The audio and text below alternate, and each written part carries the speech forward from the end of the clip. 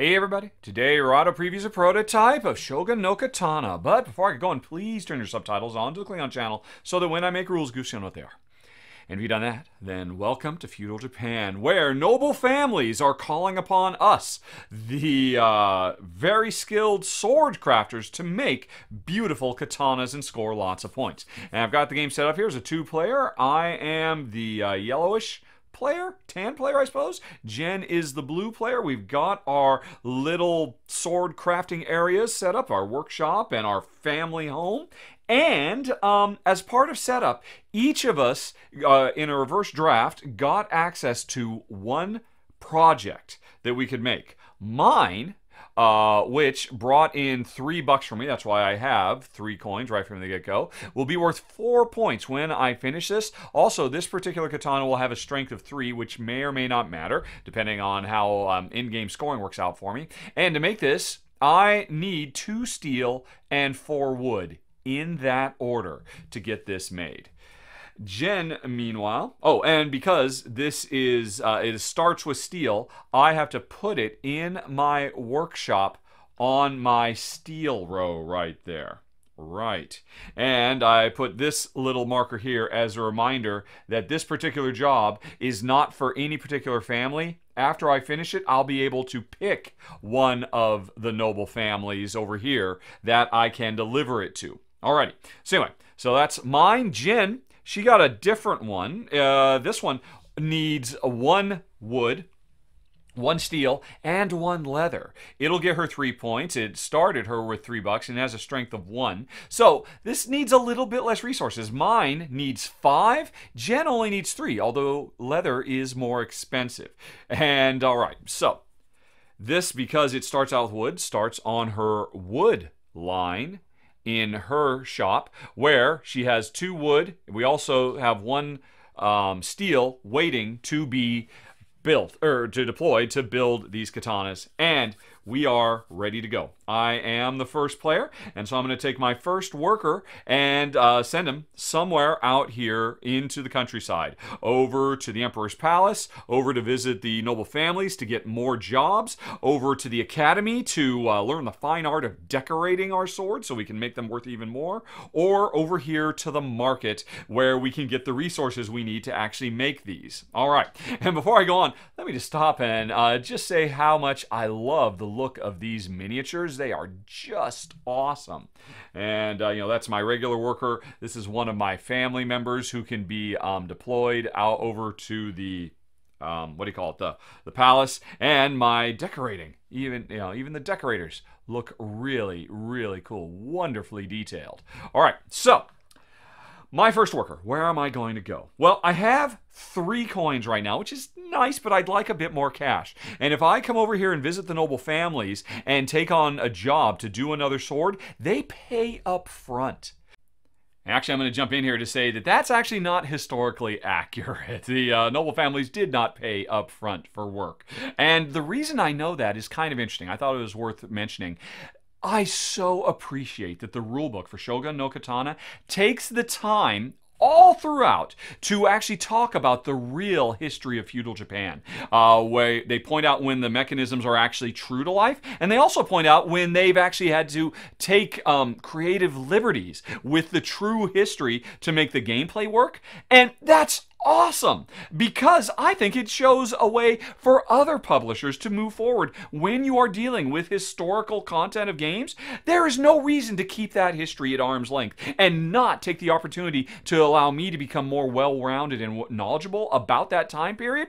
And sure, if you have to make changes for, you know, gameplay, just point that out. Just explain. And by the way, this is how it really worked. Shogun no Katana's rulebook actually comes with a big old section devoted to the history and it's great and i hope more publishers take a hint from um, from from this game because this makes history come alive and it just makes the game much more engaging i think but anyway back uh back to the run through uh, but anyway so I could visit any of the four households. And by the way, I'm playing a two player game. So this space, this space, this space, and this space would only be in a four player game. There would be another sword here. But since we're playing a two player game, there are only eight sword projects, two in each of the families that I could go and try to pick up. So, which one do I want? Well, I'm doing this both to give myself another job, but also to give myself some money. This one, if I take this job, this is a tough sword, it'll give me um, six coins right off the bat. So will this one, because you can see they have a lot of steps and they require, so it's, it's going to take a lot of work to get it done. So, if I want a lot of money, I probably want to grab this uh, contract to make a katana or this contract because they give the most money up front. But there's another decision I have to make. If I go to this family to take either this one or this one, I will get this bonus card which is something that I can use when I go visit the palace. On the other hand, if I come over here, I'll get this bonus card, which is something that I can use when I go to the academy to decorate. So, I want a big fancy job, and I think I'd rather have this bonus for the palace rather than this bonus for decoration. So, I, oh, but actually, interestingly, these are both big jobs. This one we need some lacquer, some wood, some steel, some wood, and some steel. This needs two leather, steel, wood. Steel. So, really, am I going to focus on one that needs leather or one that needs lacquer? Lacquer is more expensive, but it needs less. Let's go. Let's let's go for the lacquer all right, so I have taken this job, and uh, this job was for the uh, the Green Noble family, which means I take one of their flags and put it on here as a reminder that I'm making this for them. I immediately get six bucks, so here's five and six, and now I'm rich, rich, I tells you. And I put this to work in my workshop on, as you can see, the first step is going to be lacquer, so I have to put it on my lacquer line over there. All righty. So, and let's not forget, I get this bonus card, which has two functions. When I visit the palace, I will get an extra family member to uh, try to influence the shogun and all that. Plus, after I do that, if I pay three bucks, I can permanently upgrade my um, studio to produce leather for me that I can use in subsequent jobs. All right, so I've got this little bonus card, and uh, that was my first turn. That is the way worker placement works. Uh, we are going to play this game over one, two, three, four rounds, and in each round, we at the beginning of the game have four workers apiece. And I've just used my first one. Now, as I am making swords, once I finish a sword, hey, the first sword, hey, that's great. But if I finish my second sword, uh, my operation increases and I'll get another worker. If I finish my fourth sword and my fifth sword, I'll get two more workers to get more stuff done. But we'll have to wait and see if I can get that far. I mean, making five swords, that's a lot of effort. It's possible you can make 80 or even more, but you have to work really hard just to even get your fourth sword done um, because it's a it's a slow and exacting process to make these things. So anyway, so I've got all these workers. I've got my three family members. This is also my Shogun no Katana, um, the blueprint for making my special sword that we will offer to the Shogun as a gift to score tons of points. Maybe I'll do that. Maybe I won't. It is the name of the game though, so it's something I got to think in the back of my mind. Alrighty, so I have done my first of uh, four worker actions in this first round of the game. And obviously, this space is blocked, so Jen couldn't go there. She could still come here and get this one if she wants, but where is she going to go? Well, she is the blue player. And again, I just love these miniatures. They are so cool looking. Where is she going to go? Alrighty. Hmm. Well, Jen would also like to get some more cash, although she started with a little bit more than me. She got the three from her starting job plus one more. And and it's interesting. Jen sees that I just got this that's going to give me a bonus when I eventually go to the palace. So Jen figures, oh, he's going to go to the palace, isn't he? Maybe she should jump over here to the palace first and be the first to uh, you know get her foot in the door. Now, again, I'm playing a two-player game, so this space and this space are off limits. There are only three opportunities every round to go to the palace, and Jen has just taken one of them. Now, what happens when we go to the palace is we grab one of our family members, and this is the first time Jen has done this, put it on any one of these tiles, and then we get to activate all the tiles where we have put family members. So the first time, I'm only get one of these palace actions. Second time, I'll put a new family member down, and hey, I could get two actions. And you can see these two two combo. This one gives two bucks, and this one you can spend two bucks to get some lacquer, which is half price. Uh, this one lets you work on a sword. This one lets you increase your ability to decorate. This one just gives you some steel straight out. So by by visiting here, Jen is going to get one of these actions. And by the way, the game comes with a few more of these. Every time you play, you're going to get a different assortment of bonuses you can get when you go visit the Shogun's Palace. So does Jen want some steel? She already has the steel and the wood she needs for the sword she wants to make. She needs some leather, and she can't get leather at the palace. So that's not going to help. Just two bucks is always worth it. She could start working on her one sword right now. That's interesting too. Or she could get better at decorating, or she could get some steel. I think she's just going to take the money. Alrighty. So First, you um, when you come to the palace, if all three of your family members aren't here, you add another one. So the third time you come to the palace, you'll have all three family members. After you've added a new one, you can move them around. So this uh, family member on uh, next time Jen comes to the palace could move over here if she wants, or could stay there. And then you activate them. In this case, Jen gives herself two more coins. Woohoo! Okay, now there's another thing about the palace. Whenever any player goes there and puts a family member and activates, all other players get to activate one of their family members as well. And here's the problem. I haven't visited the palace yet. By Jen rushing out and going to the palace first, she has now fixed it. She knows I'm going to want to go to the palace because I get this bonus for doing it, which means when I go there, you know, I'm going to get to put a family member out. Plus, I can play this card to get a virtual family member, uh, which is this little token right here. So it's like I've got two family members there. But Jen's going to make more money passively off of my action, which means Jen's just made it a little bit less attractive for me to go to the palace. It's interesting. The palace and the academy, they both affect all players. All players get a benefit when one player goes to these. When you go visit the noble families or when you go to the market, only the, that player gets stuff. But these ones are a bit more interactive. So that was Jen's first turn. She visited the palace and she kind of stole my thunder because I was totally going to come over here. And I could still, but all I know, I know that means Jen is going to passively get two more coins on my turn. And I would then put my family member, I could come here and get some money as well. Plus, if I play this bonus card I earned, I can, it's like I have another family member. Now, you cannot have multiple family members of yours on the same space. They have to be spread around. Ah, so am I going to do that now? Jen kind of beat me to the punch there. Hmm. Yeah, okay, I'll go ahead and do it. Because really, remember, I took this job that needs lacquer uh, to make that sword. Lacquer normally costs four coins, but having two family members here means effectively I can get that lacquer for free and save myself four bucks. So I'm coming here um, which means I'm going to take one of my family members and I'm going to come over here and join Jen's family member so I can make some money. And I'm going to play this card right now and get the virtual family member to come here. So that means I am going to make two coins, but then I'm immediately going to spend it to get the lacquer, and I'll put that up here in my shop. So now I've got the lacquer I need for the first step, and I've got some steel that I need for the first step of that. I can start working on both of these swords now. And, but Bummer, Jen also gets two coins. I've just made her a little bit richer. And in the early game, money is tight, although by the end of the game, you could be drowning in cash depending on how you evolve. And we need this money because it's expensive to go shopping, but there's another thing we can do as well. So anyway, though, that was my turn. Oh, wait, oh, one more thing I have to bear in mind. This card, I played it, which means I got to deploy the virtual family member, so I got a little bit of extra action. And remember, I have to decide, do I want to spend three coins now to upgrade my workshop so that it will generate leather for me passively. I will.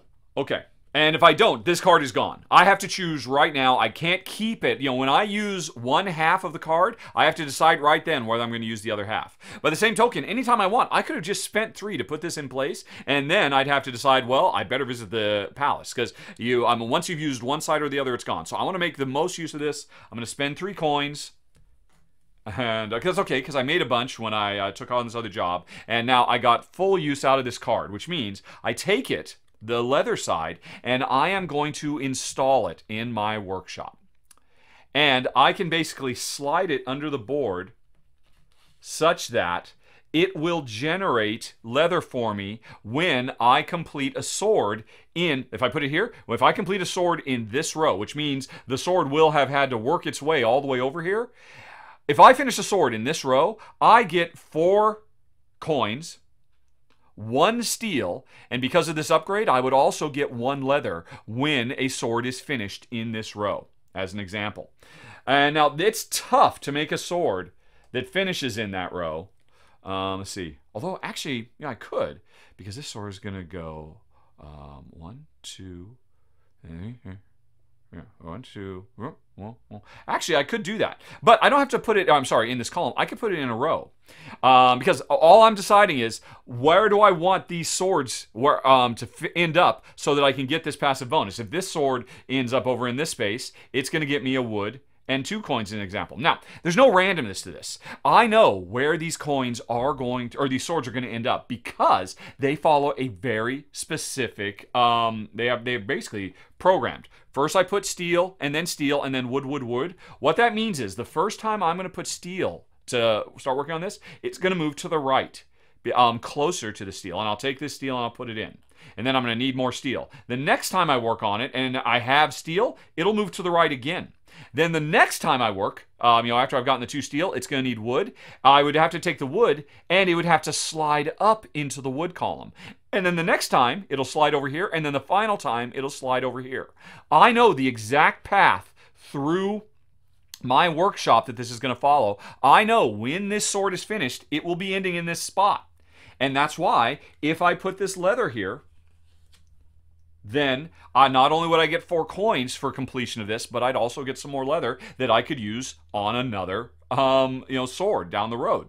Instead of having to spend three coins in the uh, market to get it. So I have to decide where does that go? Mm, well, if I want to make the most use of it, I need to think about how my other sword is going to get built as well. This one starts on the lacquer. When it gets one lacquer, it'll move to the right. When it gets a when it gets wood, it'll move down here. Then when it gets its steel, it'll move down here. Then it needs another piece of wood that'll take it back up here, and then finally another steel. It'll end down there. So I know um, that basically means well, I, I can't put this in a place that would benefit both of these swords, as an example. But I could be putting it in a place that'll benefit more swords. If I look back at the swords that are available that I might be grabbing in the future, basically this one ends in the wood line. This one ends in the wood. This one ends in steel, ends in wood, ends in wood, ends in steel, ends in steel. I think, I think then with that in mind, I already have one sword that I know is going to end on the wood line. I have one I know is going to end on the steel line. I think I'm going to get this one done sooner than that one. So I'm going to go on ahead and I'm going to put this over here. And so now, when I eventually finish this sword, or any sword that ends on this row, I will get an additional leather, which is basically like making three bucks. All right, so anyway, I haven't made anything yet. Let's put these back where they started. All right. So, but that just gives you a little bit of a sneak peek of how complex the th planning goes into this game. Because, as you might imagine, as these swords move around, you might get some traffic jams and they bump into each other, and that's a big part of the planning. But I'll worry about that when I actually start making some swords. So anyway, so I got that little bonus, um, and that was my second worker placement action. It is Jen's turn to go again.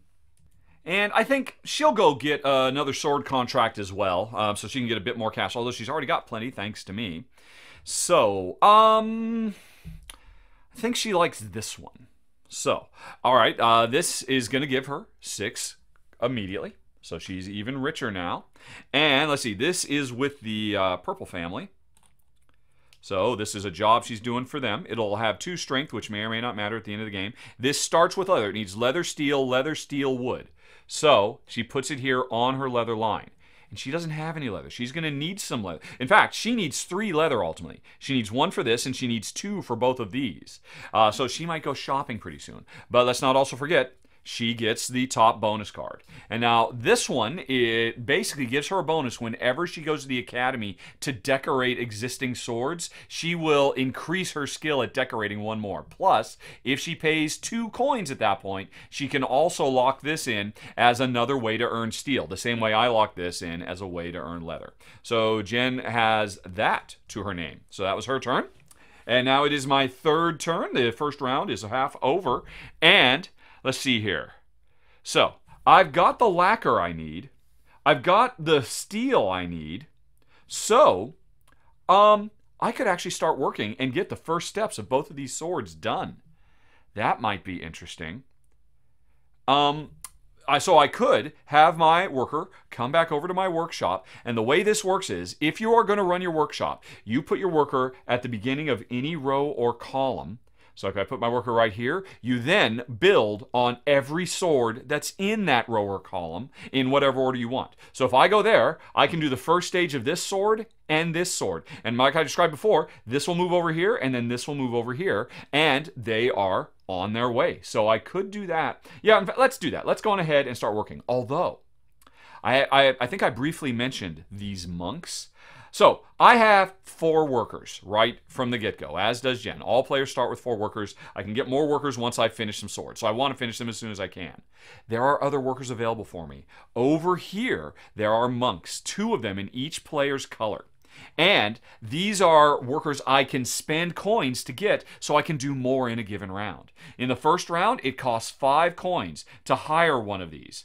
And um, so that means you're going to get more work done, and they are better workers than normal because they give you a bonus. So let's do that. Remember, I've still got six bucks left over. I'm going to spend five to hire this monk. And um, as you can see, and they get more expensive. In the fourth round, they cost 12. They get crazy expensive. Um, but hey, every uh, you know when you're near the end of the game, you are desperate for a last few couple of bonus actions, and those monks could really come in handy. So instead of using my regular worker to um, do the first stage of my swords, I'm gonna have a monk do it. Get to work, pal. And he says, okay, boss. And so here we go. Um, now I can work on either of these in any order. I'll go on ahead and do the top one first. Remember I had this lacquer that I got at the palace for free. Thank you very much. And be, uh, that means this moves one step. And now I have the one steel that I started with and this moves one step. Boop. Okay. And now, as you can tell, on the next round, um, if I say put a worker here, I could activate both of these again. But because I went with the monk, wherever you go, the monk gives you a bonus. And if you have your monks work in your workshop, after you have activated, or before or after you activate the entire row or column that you chose, they get to do one more build on a single one. So let's have him go on ahead and do one more build and do the second stage of this. So now this is guy's second, so it slides down here. Okay, so this is now two thirds of the way built. Hoorah! We're on our way. Looking pretty good. And the next time I put somebody here, I could activate both of them. Um, and so, and this will move to the right, and this will move to the right. And isn't that cool? Because here's the deal, folks. If I hadn't used this monk, say, and instead I'd used a worker, right? They'd both move here. So that's pretty cool. But, and then if I used another worker, they'd move again. This would move down over and this would move down. And then they wouldn't be in lockstep anymore. And it would require two separate workers to activate them separately.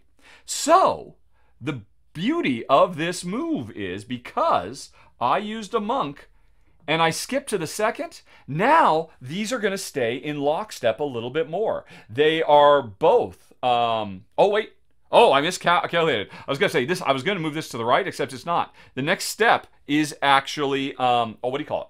Uh, steel, but that's okay. When I eventually send a worker over here, I'll activate this and it'll move closer. And this wants a steel, it'll move down here.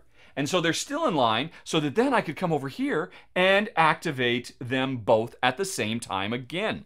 This is a huge part of the game. Figuring out the puzzle of how to run your workshop and get multiple steps done with a single worker. Uh, because if you have your swords all cattywampus, it's very difficult to work efficiently.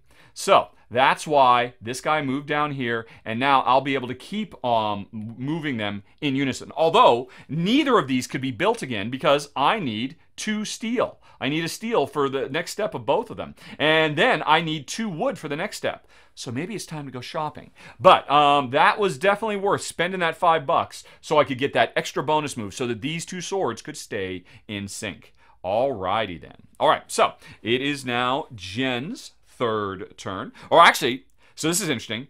I still got two workers. Uh, because I spent and I got the extra, Jen might finish this round before I do. Although there is an upside to that, because as soon as somebody passes, they have no more workers, they're not paying uh, monks anymore. As part of setup, two honor cards came out. And these are in game scoring cards. Whoever passes first gets to pick whichever one they want. Whoever goes last gets the leftovers. And this is saying, hey, get three points at the end of the game for every sword that used leather. This is saying get four points for every sword that used lacquer. One of the reasons I chose this lacquer was because, hey, I knew I could get some free lacquer um, at the uh, palace. Plus, I'm hoping to get this because this will make my sword worth an additional four points because it's got because it has lacquer. But if I because I've done this, Jen might pass now, and she might take this and keep the better card away from me. Um, because she whoever passes first gets choose first. All right. So what has Jen got in mind now? You know what? Um, Jen has a couple of swords she'd like to start working, but remember she needs a lot of leather, and she's made a lot of money. I think she's going to be the first to go visit the market. It's shopping time. Okay. And as you can see, um, again, uh, only three spots, only three opportunities to go shopping in a given round.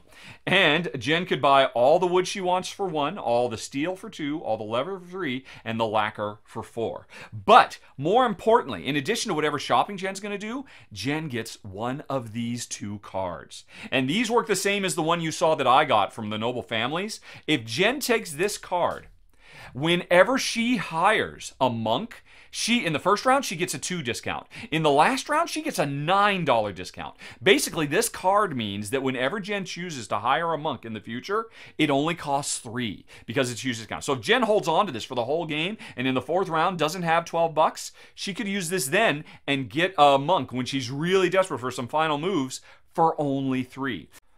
Oh, if only that were so. I gotta jump in here to uh, correct that because that was a pretty big mistake. Uh, as always, folks, please watch the Klingon subtitles. Paulo already pointed this out, but I wanted to say that I was misreading the card. The negative nine doesn't mean it takes $9 off of the $12 purchase price. It replaces the $12 purchase price with a $9 purchase price. So basically, this card gives you a three coin discount no matter what round you're in from start to finish. Uh, just, I thought that was a big enough one to point out. Uh, but anyway, let's get back to it. Plus, when Jen uses this, if she also pays three coins, she can lock this in and turn her shop into a moneymaker in the same way that my shop has now been turned into a leather maker. So Jen decided, you know what? These are both great, but Jen really wanted this so she can get a big discount when she starts using her monks. Unlike me, I paid full price. And um, oh no, she could take this one instead. And this one says when she makes completes a sword, double its points, and that's huge too. Um, you know, Jen's got this sword that's going to be worth six points when she makes it. If she has this and plays it at that moment, she would make 12 points off that sword. And that's a huge deal also.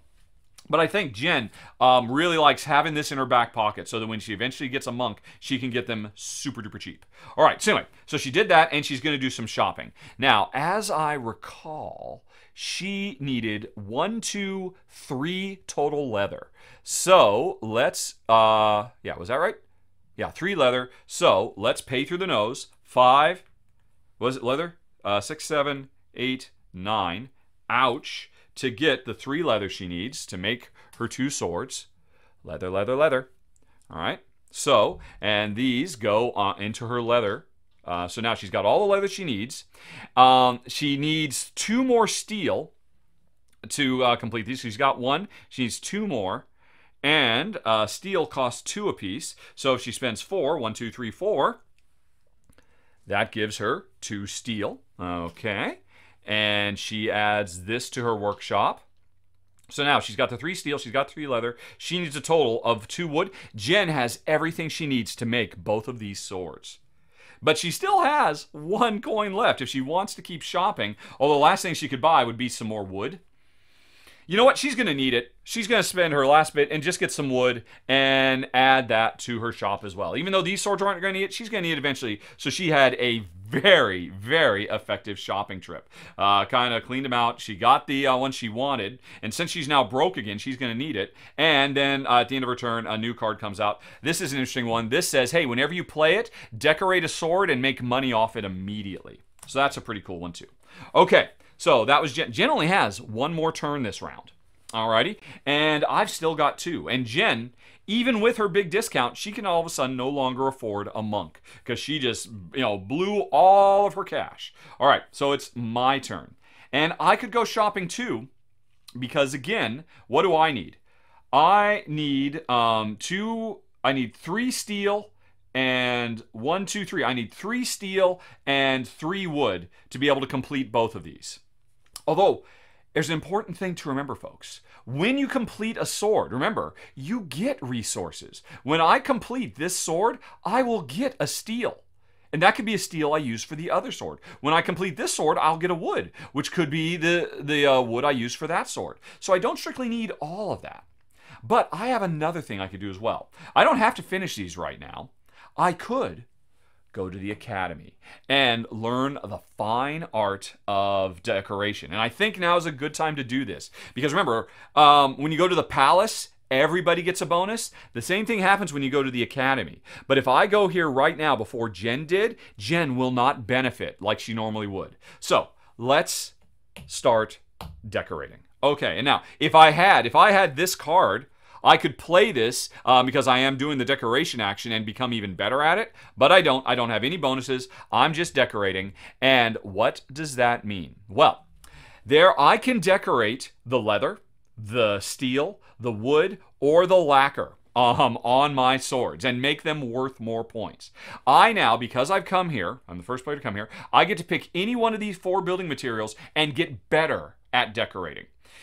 Let's see. I'm planning I am planning, I'm hoping to get this and do lacquer. That's why I have the lacquer. So why don't I get better at lacquer? All right, I am the tan player. So I've gotten a little bit better at it. Although the first step doesn't mean anything. Um, a, a, a sword, a katana that has uh, decorated lacquer is worth one point it's still worth one point. But if I upgrade this again, it'll be worth two, or I'm sorry, not points, do, uh, coins. It'll be worth two or even three the more I improve in this regard. So I'm going to try to be decorating lacquer over the course of the game. Or am I? Yeah. No, yeah, sure, fine. Okay, okay, so I've done that. Now, that's the first thing I get to do when I come here. The second thing I get to do if I'm the player to come here is I get to do one decoration of lacquer, wood, steel, and leather. I get to do one of each. And that's what I'm going to do right now because, well, unfortunately, I could do all four if I had all four materials on the swords I was working on. Now, unfortunately, I've only got three, but I'm going to decorate this lacquer, this wood, and this steel. So I'm going to make both of these swords much more. Now, neither of these swords would ever had leather, so it's not like I was going to get to decorate the leather anyway. So to decorate, what you do is you take the boring old um, wooden cubes off, uh, you know, this red and this brown, and you replace them with the translucent cubes. Oh, yeah. So now I've got decorated lacquer and a decorated wood, and over here I've got decorated steel.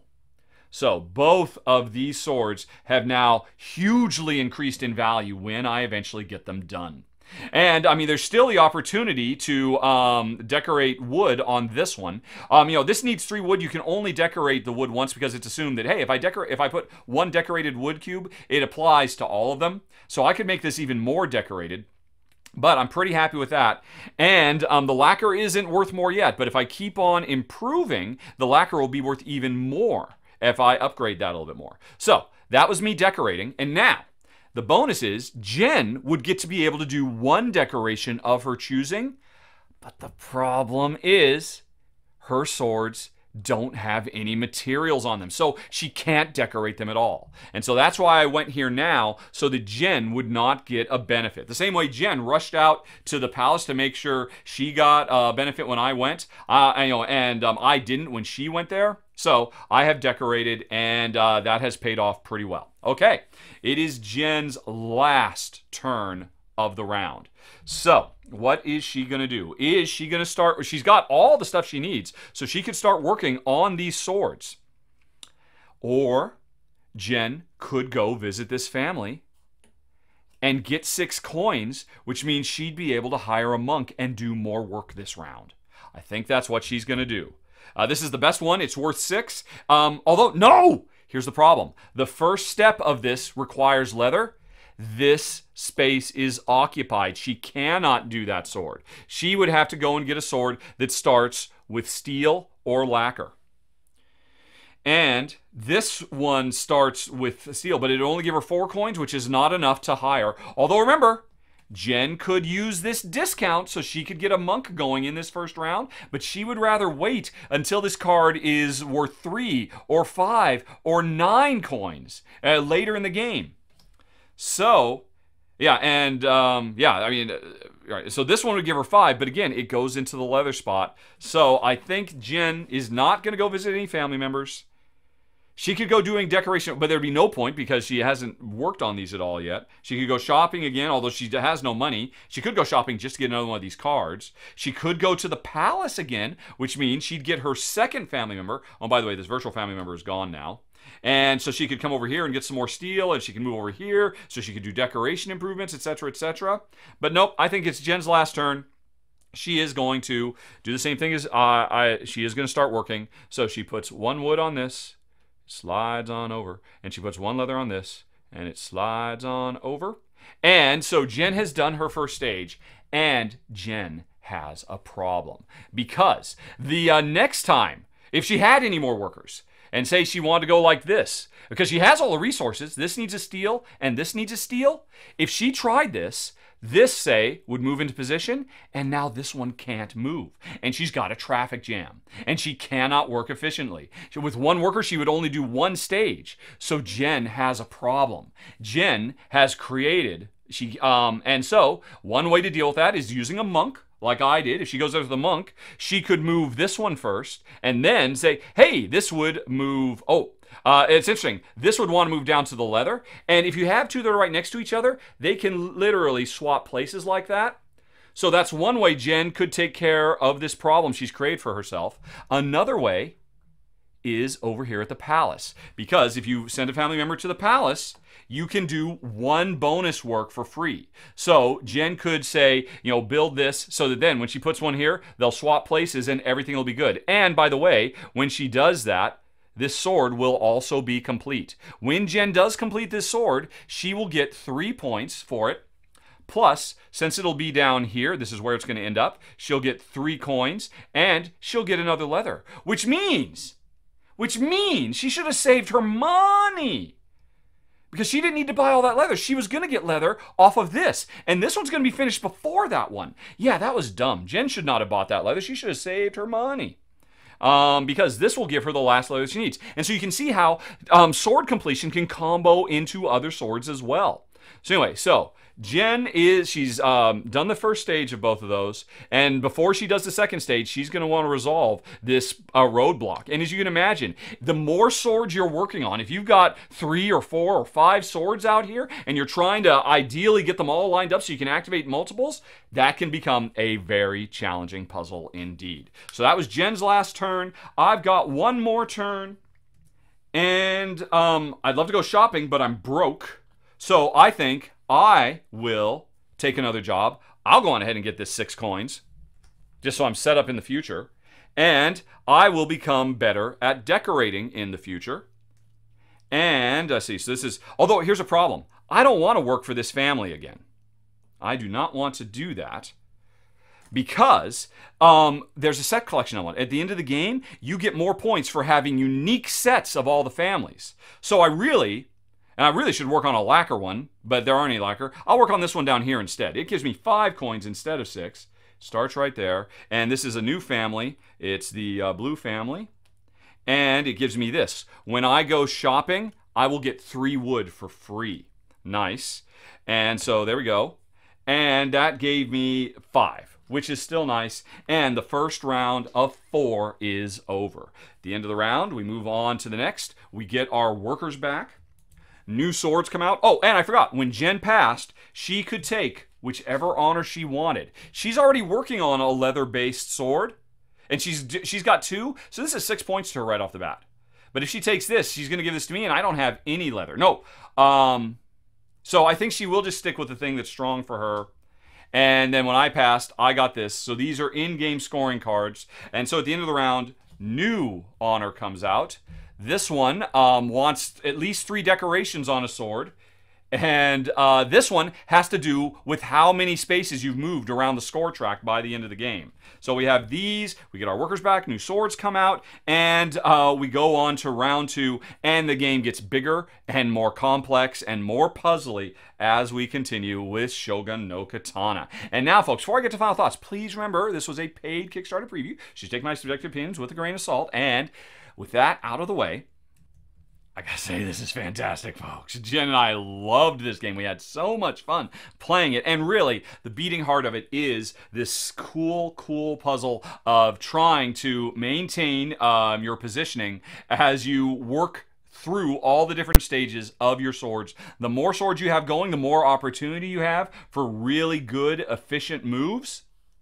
Um, but the more problems there are as things start to kind of clash into each other, and you've got to figure out how to move them around. Now, I got to admit, just this game could have been the entire game itself, just the workshop, because that is so much fun. Um, but that just becomes the basis for a very good worker placement game as well. Full of tension, lots of really nice elements. The idea of uh, two of the four worker placement spots, if one player goes there, everybody else gets a bonus. So timing on those spaces is hugely important. Um, and as well, the fact that you've got workers, you get bigger and you know a, a bigger and bigger workforce, the more work you get So that could be a big strategy. Just make quick, short, cheap katanas that won't get you much, but will get you more workers for a big, or just spend your whole game working on a couple of really amazing katanas. Get them totally decked out with, uh, uh, you know, decorations so they can be huge paydays. Um, and along the way, just make enough money to keep doing extra work without ever, without increasing your family size by just hiring these monks.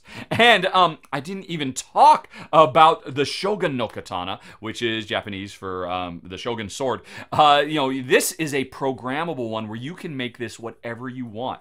Every time you complete a sword, you take some of the cubes that were part of it and you put them over here in the Shogun area, or you, you take matching ones, I should say, and you, you put them over there in the Shogun area, and whenever you want, Provided you've done at least one of each of the five resources, you can start working on this and you've programmed it to go through the maze of your workshop any way you like. And these can be hugely, um, you know, uh, big scores at the end of the game. And in fact, the tiebreaker of the game is all about them and all of that. So that's an extra level of complexity. You could win this game never making a sword for the, uh, the Shogun, actually, or your whole game could be about that, or just about getting a bigger workforce, making more money, leveraging these. Um, what do you call them? Leveraging all these bonus cards. There's a lot of variety there as well. Going for set collection, doing working for a lot of unique families. It's it's got a ton going on. Every time you play, you're going to get a different layout of uh, the, the the Shogun's Palace, the the bonus cards that come up, and the swords. And yeah, all of it circles around this awesome, gorgeous designed little puzzle game, and everything else rise to the occasion too. It's only four short rounds in this game, and it, at the beginning of the game, it feels like, oh my gosh, you can barely get anything done. But by the end of the game, you are moving mountains because you've got so much money. You're hiring the monks. You're using all the special bonus powers.